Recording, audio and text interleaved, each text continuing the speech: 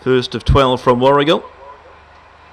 They're racing. A little bit slow, make that call along with Creative Avenue. Beginning well was Opal Bale, and the favourite went to the lead from Parumba Lachlan. Big Welt third the inside, ahead of Hit the Gas, stops in Yoring, a length away. Creative Avenue from Lamalu, who went very deep and make that call sneaking up on the fence. Opal Bale left the rail, leading the way though from Parumba Lachlan. Big Welt runs on late, it's Opal Bale in front at Opal Bale. A photo second, Big Walt and Parumba Lachlan. They were followed in by Hit the Gas. Uh, next across the line was Lamalure with Creative Avenue make that call. Big Walt took a fall shortly after the post, but chases them home 22.94 the run.